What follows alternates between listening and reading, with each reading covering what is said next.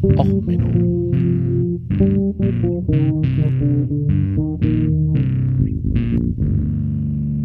Der inkompetente Podcast über Dinge aus Militär, Technik und Computer, die so richtig in die Hose gingen.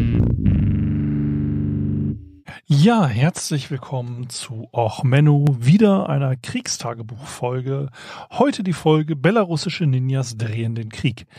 Ja, eigentlich, eigentlich hatte ich noch so ein bisschen Elon Musk auf dem Zettel, eigentlich schon seit einer Weile mit seiner ganzen Geschichte und Twitter und so. Irgendwie ist mir jetzt gerade so die Lust vergangen, weil auf Twitter fliegt einem so nur die ganze Scheiße an und um die Ohren.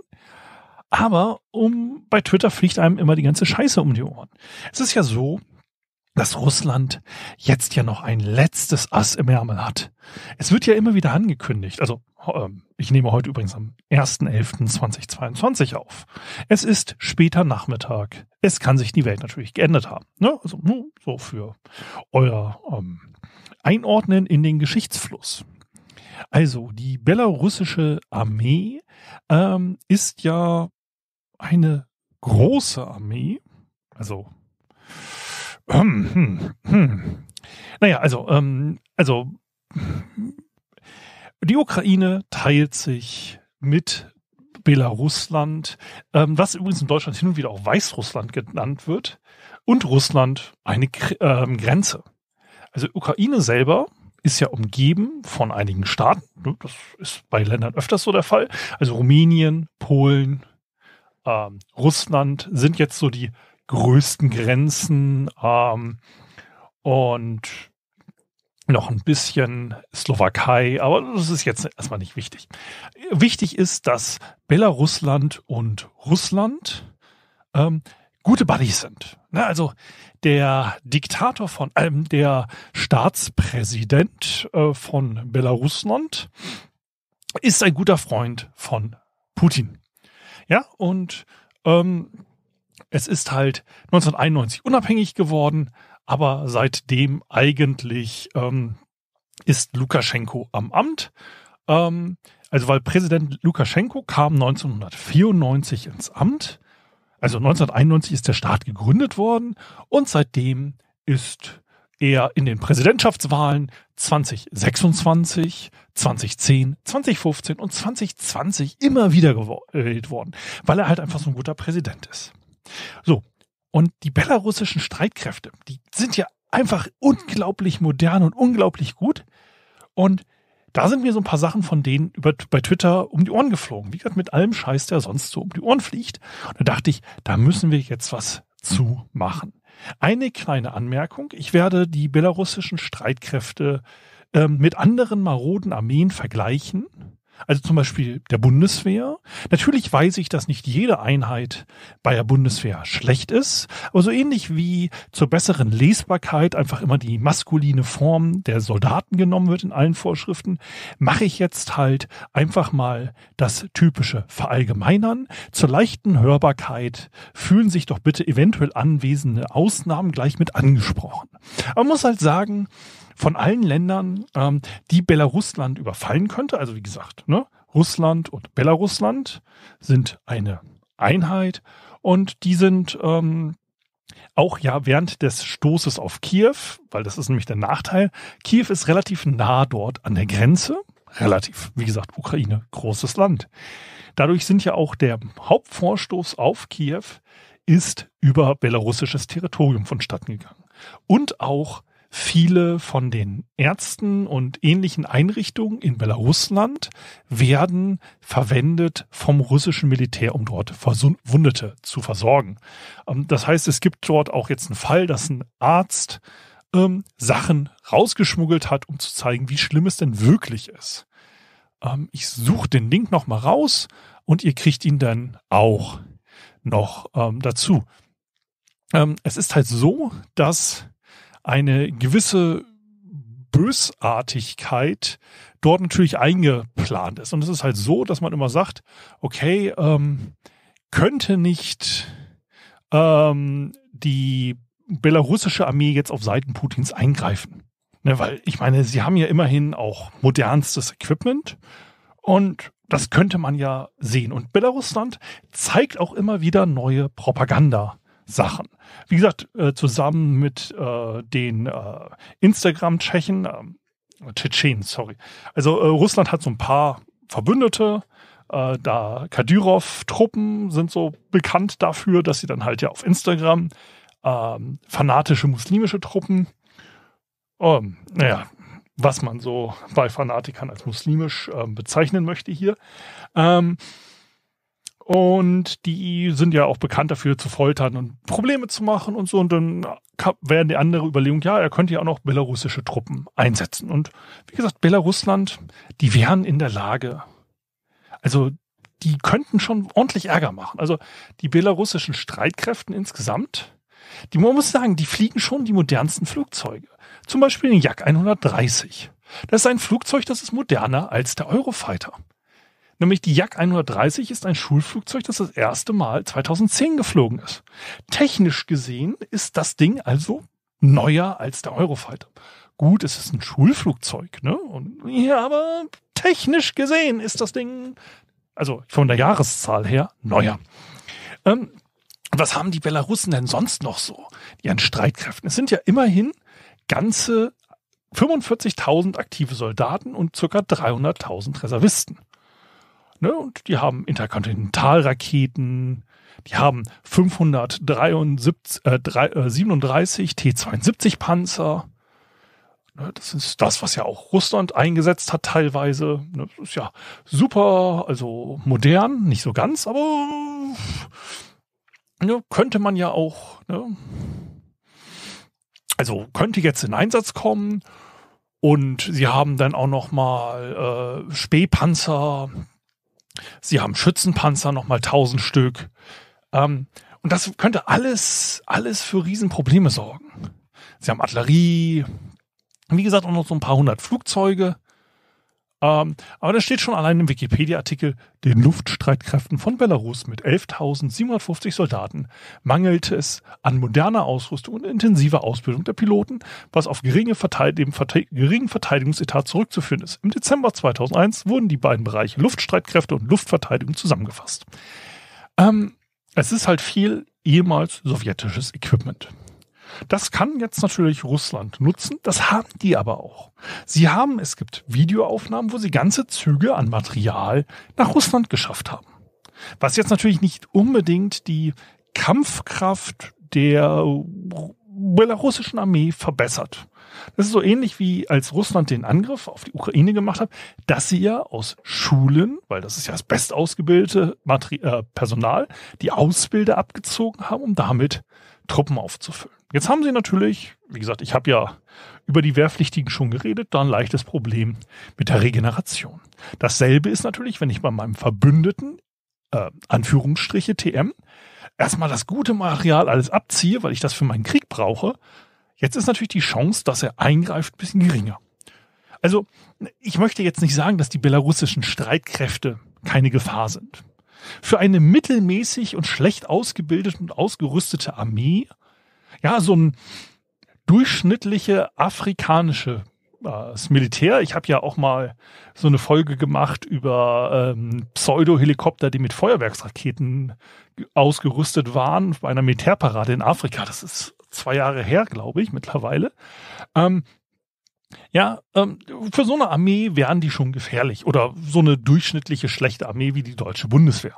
Ja, also so, wenn jetzt heute die Belarussen Gut, die müssten erstmal durch Polen durch, da hätten sie ein Problem. Aber wenn die jetzt so durch magische Intervention von Darth Putin, ja, der macht jetzt ein Blutritual und jetzt stehen die auf einmal an der deutschen Grenze und fahren dann gerade beim nächsten Autobahnrasthof ab und fahren ins deutsche Gelände.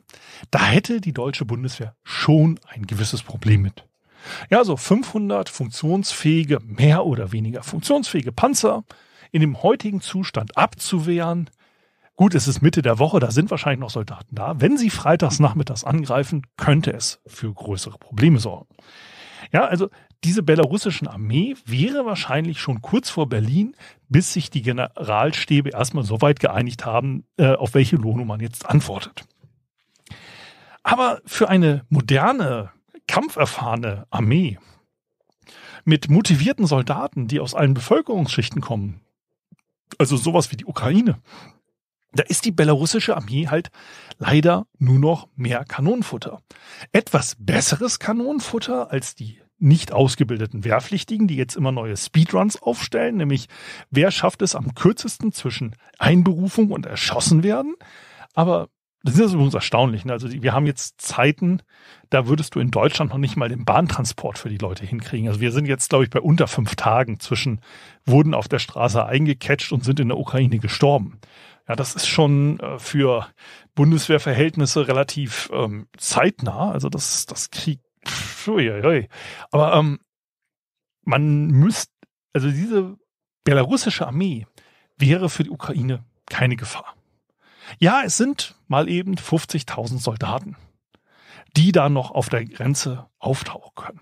Ja, es sind noch mal 500 veraltete Panzer. Aber wenn man jetzt sieht, was die belarussische Armee als Propaganda rausgibt, da wird es jetzt spannend. Weil man muss ja sehen, als Propaganda gebe ich ja nur das Beste raus, was ich machen kann. Ja, wenn ich jetzt sehe, die Amerikaner, Special Forces, sie tauchen aus einem U-Boot aus. Jetzt bläst sich das äh, Schlauchboot leise auf. Die Seals steigen bei Morgennebel aus dem Wasser und sprengen eine Tür auf. Oder, oder, oder. Ja, guckt euch mal von eurer örtlichen Sondereinsatzkommando eurer Wahl, ja, von eurem Bundesland, Gebt mal ein Bundeslandname SEK Werbevideo und ihr werdet was finden mit Filmmusik, einem Pathos obendrauf und, ah, und coole Aufnahmen von Leuten in schwarzen Klamotten. Das ist so die Standardpropaganda, die ich von jedem erwarte. Ja, ich mache auch irgendwelche Werbetermine vor der modernsten Ausrüstung, die ich zur Verfügung habe die modernste Ausrüstung, die das belarussische Staatsfernsehen zeigt, um die eigene Bevölkerung zu motivieren, dass der Krieg gut läuft, sind Sachen wie man hat Zusatzpanzer an den Panzerungen, äh, man hat Zusatzpanzerung an den Panzern angebracht, wo ich denke, jo, Zusatzpanzerung, gute Idee. Ja, in Deutschland, Europa, Verbundstoffe, Hochtechnologie-Keramiken, die so geheim sind, dass man eben mal nicht die Panzer weitergeben darf. Das ist übrigens die Ausrede der Amerikaner, warum die an die Ukraine die Waffen nicht äh, Panzer weitergeben dürfen. Ja, da hat man so geheime Verbundstoffe aus irgendwelchen Kohle, nicht Kohlefaser, die brennt, aber auch so Glasfaser, Verbundstoffen mit Keramiken, verschiedene Metalllegierungen aufeinander geschichtet in speziellen Winkeln, um Panzerabwehrwaffen bestens abzuleiten. Also das ist so Hightech.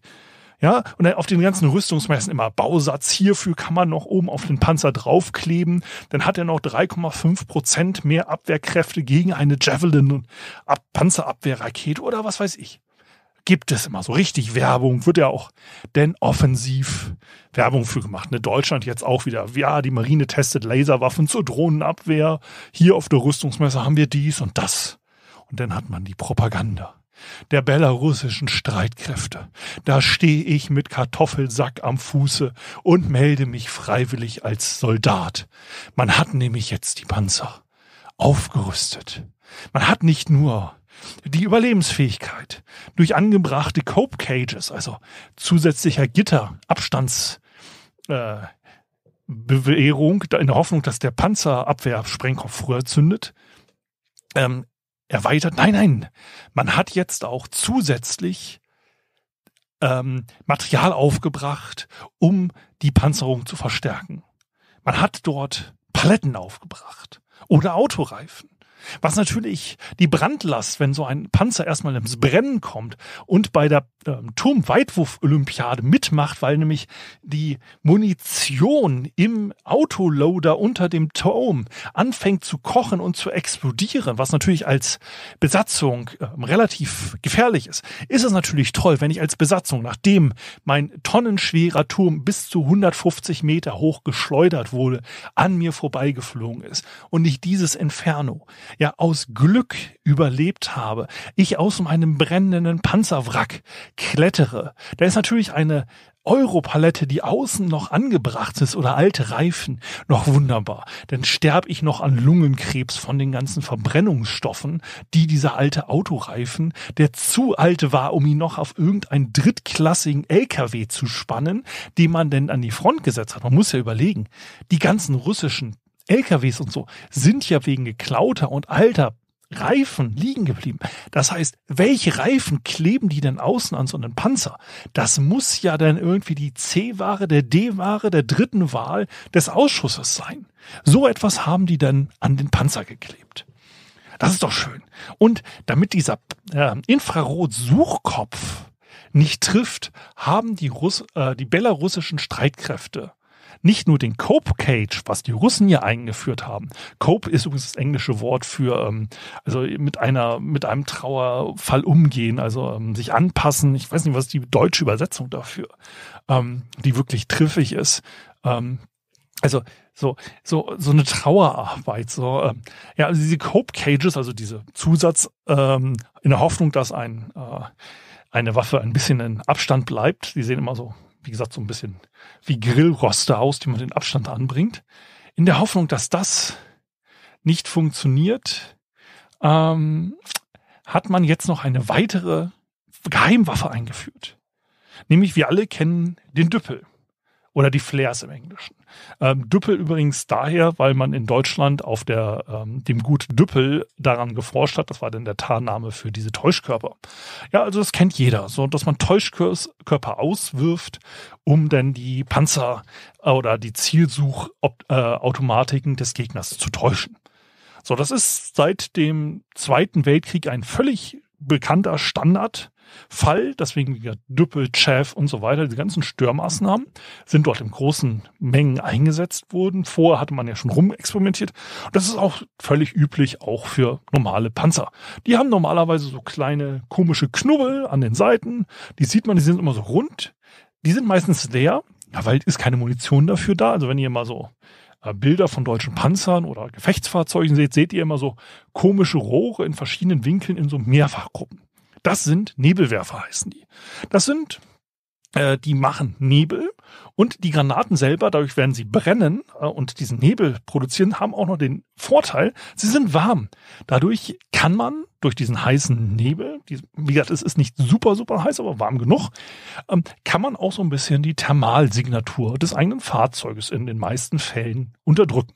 Das heißt, ein Gegner hat es ein bisschen schwieriger, nicht unmöglich, aber schwieriger, ähm, mit einem wärmesuchenden Zugkopf auf das eigene Fahrzeug aufzuschalten.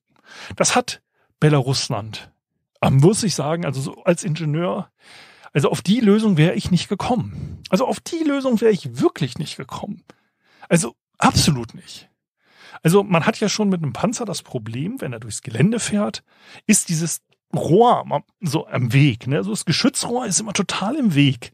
Und wenn man mal schnell sich drehen will, man kennt es vielleicht, wenn man mit einer Leiter oder so unterwegs ist, so ein blödes Panzerrohr, ähm, das bleibt an Sachen hängen. Deswegen dreht man die oft auch sogar übrigens nach hinten in der Geländefahrt, damit es nicht so im Weg ist. Aber jetzt hat sich Bill Ausland gedacht, nein, wir brauchen einen Ausgleich.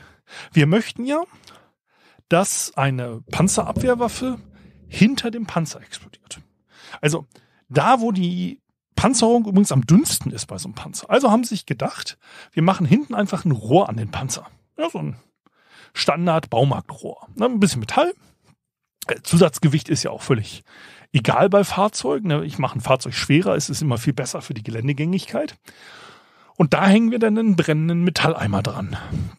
Und die Idee ist, dass das Feuer dort ähm, ablenkt von der heißen Motorabgasfahne des Panzers. Somit ähm, denn der Infrarotsuchkopf abgelenkt wird. Das ist an sich keine schlechte Idee. Also, naja, also außer, dass man dann nicht mehr sich vernünftig drehen kann, weil man hinten noch ein Rohr am Arsch kleben hat von dem Panzer, dass man an- und aussteigen muss, was auch nicht unbedingt toll ist, um dann wieder brennendes Öl oder was auch immer in diese blöde Tonne zu kippen. Ist es ja auch so, dass die dann noch ein bisschen vor sich hin raucht, was natürlich total gut ist, wenn man irgendwo versteckt sein will. So eine Rauchfahne ist absolut harmlos. Ähm, sie generiert zusätzliche Wärme permanent, was auch, wenn man sich verstecken will, total hilfreich ist. Jetzt haben wir aber auch, man muss es mal so sagen, ich weiß, das ist für viele überraschend, ein Zeitalter der modernen Technologie und Computer. Ja, das ist für viele wirklich überraschend.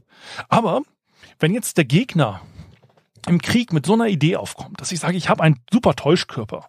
Wie gesagt, Stand Zweiter Weltkrieg ist, wir schießen die Täuschkörper pyrotechnisch in die Gegend, dass wir sie möglichst weit verteilen um unser Fahrzeug rum.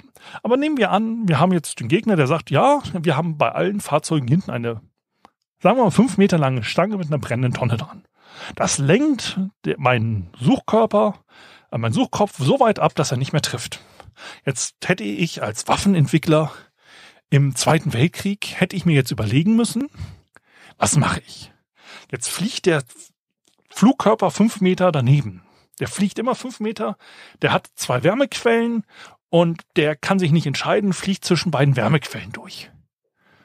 Hui, das ist schwierig. Dann könnte ich mir überlegen, also als Entwickler im Zweiten Weltkrieg, ich lasse mir von meinen äh, Zwangsarbeitern noch einen weiteren Schalter an die Waffe einbauen und dann habe ich einen Direktmodus und einen gehe auf die nicht ganz so warme Wärmequelle. Hm. Okay, hätte Produktionszeit, ne, die Zwangsarbeiter müssen das jetzt erstmal produzieren und das dauert, bis es an die Front kommt. Wir haben heutzutage komischerweise sowas wie Computer in diesen Flugkörpern. So. Die sind auch übrigens sehr intelligent und können normalerweise schon mit diesen blöden Dingen äh, wie es werden Täuschkörper ausgestoßen und fliegen in der Gegend rum. Also die Javelin zum Beispiel, die macht ein Foto, soweit ich da informiert bin. Die macht quasi einmal ein Wärmebild und ein 3D-Modell des Fahrzeugs, das sie treffen soll, also wenn man das draufhält, und dann fliegt sie diesem 3D-Modell des Fahrzeugs hinterher. Das heißt, wenn ich eine zusätzliche Wärmequelle mache, lässt sie sich davon nicht stören. Aber gehen wir davon aus, sie lässt sich davon stören. Dann könnte ich jetzt als Waffenentwickler sagen, hui, das ist ja natürlich tragisch, dann mache ich mal ein Firmware-Update. Und die meisten Waffen, gibt es eine Möglichkeit, da eine neue Firmware darauf zu ziehen. Also natürlich wird dann der Hersteller sagen, oh, das kostet viel Geld. Um, und dann äh, müssten sie den auch einschicken, drei Wochen Bearbeitungszeit und handgeklöppelt. Aber ich glaube, in so einer Kriegssituation wird das darauf hinauslaufen mit, hey, hier ist eine E-Mail, da ist die neue Firmware drauf. Jetzt steckt dein Computer mit diesem komischen Sonderkabel ähm, dran, äh, mach den Flugkörper auf, hol den aus dem Lagercontainer draus, mach hier mal ähm, diesen Plastiknüpsel ab, steck den Stecker da rein und zieh die neue Firmware drauf. Und dann ist dieses Problem äh, erledigt. Und selbst das, wie gesagt, es ist lachhaft, diese brennenden Tonnen hinten dran. Das war alles noch nicht so weit, wo ich gesagt habe, oh Gott, oh Menno, da müssen wir jetzt mal drüber reden. Nein, nein, es war der Punkt, als die belarussischen Spezialkräfte gezeigt wurden. Die belarussischen, die absolut genialen. Also, äh, wie gesagt, die sind, die sind so modern, dass, ähm, also Russland hatte die ja auch mit neuen Waffen ausgestattet, äh, erst im Juni, aber dann haben sie wieder welche abgezogen. Nein, nein, also die belarussische Armee, die hat äh, ein Sondervideo ähm, gezeigt, ähm, wo man sagt so nach dem Motto, ähm, ja, wir zeigen es, wie männlich sie sind. Also es sind ja viele Konservative sind ja immer der Meinung, oh, diese Verweichlichung, Pronomen im Militär, das, das geht ja zu weit und immer diese Feminismus und so. Ja, die zeigen mal, was Männlichkeit ist. Die zeigen einen Drill auf einem Schützenplatz, schwarz verkleidete Soldaten mit Sturmhauben, die solche Sachen machen wie Informationen sich umdrehen, wo jeder sagt, wenn da Munition in den Waffen ist, ist das nur Blue und Blut schießen. Dann machen sie Push-Ups über brennende Ketten, ähm, das Ganze dann sogar in so einer Wellenformation. Da machen sie so Cheerleader-Zeug, was so richtig männlich ist. Ja, so richtig, so das, das absolute äh, na, Highlight Day Bergspitze der Männlichkeit. Ich hüpfe über brennende Seile und mach danach Fahnen schwingend ah, zur Musik ein Fahnenwedelndes Cheerleader-Formation und dann hüpfe ich noch und schlage irgendwie auf Sachen ein und hau mir gegenseitig in den Bauch. Also ganz ehrlich, wenn ich das vergleiche zu irgendwelchen Videos über GSG 9, gibt's jetzt, ne, war ja wieder ähm, hier Jubiläum. Da sieht man so, hey, das sind irgendwelche Hipster unter den Sturmhauben. Wenn man nämlich genau hinguckt, sieht man bei vielen von diesen coolen Antiterror-Helden immer so hinten dieses leichte ähm, Knubbelchen, das man hat, wenn man die langen Haare aufrollt zu einem Man-Bun, was auch, oh, aber so ein Man-Bun unter Sturmhaube sieht man da eher. Ja, und ganz ehrlich, ich weiß nicht, wie es um die ähm, ja, äh, Disziplin beim KSK jetzt gestellt ist, nachdem da eine Kompanie aufgelöst wurde und so. Aber ich glaube, wenn da jemand auf die Idee kommen würde und ja, wir machen ja mal Werbevideo, ne? Sagen sie, ja, cool, ne, männlich, cool, coole, ja, so coole Techno-Beats drunter oder so. Aber wenn die dann sagen, wir machen hier irgendwie Ballett tanzen, ja, den sterbenden Schwan mit brennendem Seil, ähm, guckt euch einfach das Video an. Es ist, es ist, ähm, ich mache es als ersten Link äh, im, äh, in den Show Notes. Ähm, es ist einfach wirklich, ähm, äh, ja, ich, ich kann es nicht anders ausdrücken. Es ist so lachhaft, es ist so schlecht, es ist so, so bescheuert und so schlecht gedreht, wo ich sage so, das ist euer Propagandavideo. Das ist das Beste, was ihr machen konntet. Das ist das, was zeigen soll, was eure geilen Special Forces, ja, dass die, wenn die jetzt in die Ukraine angreifen, ähm, dass die die Ukraine in zwei Tagen überrennen. Ja, wir reden davon, dass einst der größten und mächtigsten Militärs der Welt Russland eins auf die Nase gegeben hat. Ja, die Ukraine haben es geschafft, ja, mit dem Komiker Zelensky an der Spitze. Der hat den größten Witz aller Zeiten abgezogen. Er hat aus einer Weltmacht ein, ja, Treppenwitz der Geschichte gemacht. Ja, die russische Armee, eine der stärksten Armeen auf der Welt, hat sich blutige Nasen ohne Ende an der Ukraine geholt. Und jetzt haben wir eine Armee, ja, die noch nicht mal im Zirkus auftreten würde mit dieser Nummer, mit diesem Propagandavideo und mit diesem Aus, mit dieser Ausrüstung.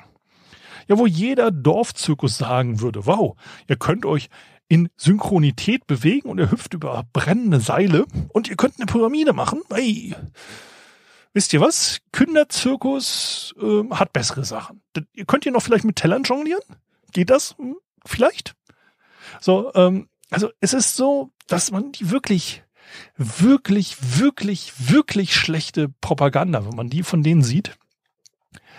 Ähm, ja, das ist, gebt euch diese zwei Minuten. Und die hat, ähm, ja, ähm, Lukaschenko wäre schön bescheuert, wenn er das Drohnen aufgibt. Solange er an der Grenze steht und damit droht, in die Ukraine einzumarschieren, ist er für Putin was wert. Ja, solange kann er Putin noch dazu bringen, gewisse Sachen ihm zu geben.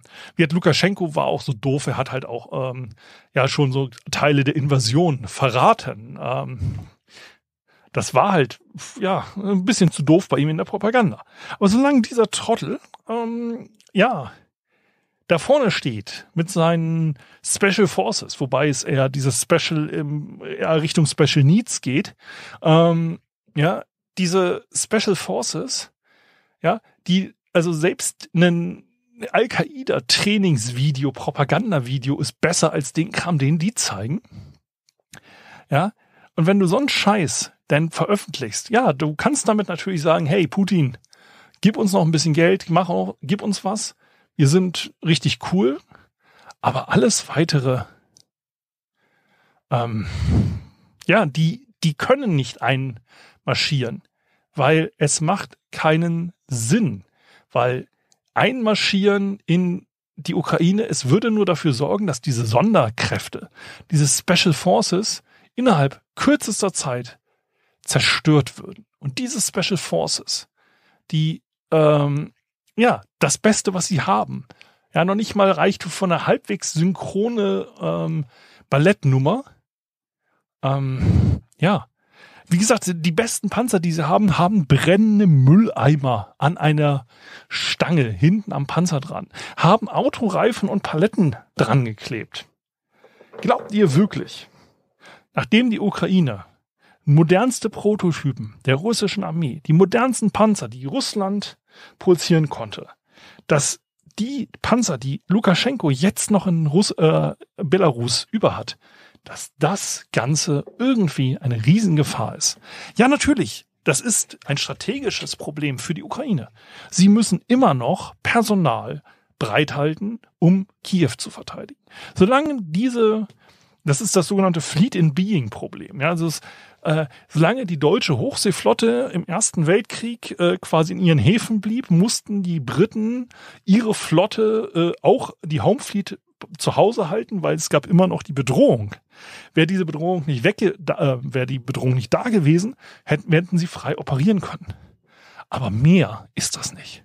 Also wenn ihr wieder diese Drohung hört, oh, greift Belarusland auf Seiten Putins in den Krieg ein, ja, sollen sie machen. Ähm, das würde dafür sorgen, dass relativ schnell ihre Nachschubwege und alles weitere völlig zerstört ist.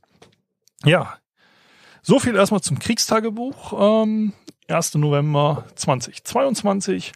Mal gucken, was noch alles an bescheuerten Sachen kommt. Ja, ähm, ich hoffe, euch hat die Folge gefallen. Und äh, wenn ja, lasst mir gerne ein bisschen Feedback da. Und wenn nein, schickt doch mal eine belarussische Sondereinheit mit der Folge zu einem eurer Feinde. Ja, bleibt gesund, bis zum nächsten Mal. Ciao, ciao, euer Sven.